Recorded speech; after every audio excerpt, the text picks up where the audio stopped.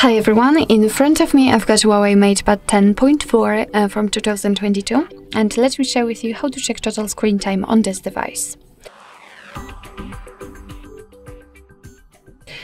So first of all, let's enter the settings and in the left section we have to scroll down to the very bottom to find digital balance.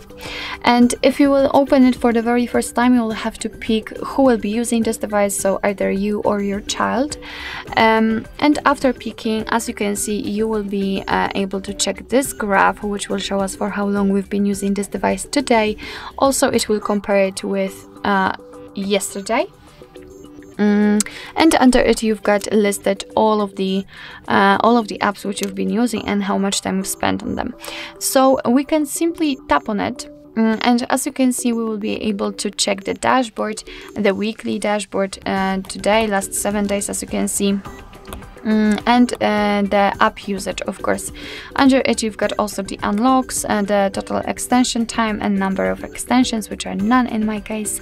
Let's get back let's check if we can check some further details. So for example, um, the info only for one app, but unfortunately I cannot tap on it. So as you can see, we can check only the, the um, info about the whole screen time.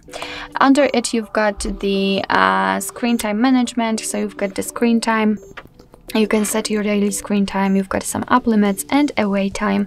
It's of course up to you if you want to, you can set the limits and thanks to this your device will simply, simply remind you that you have to stop using it.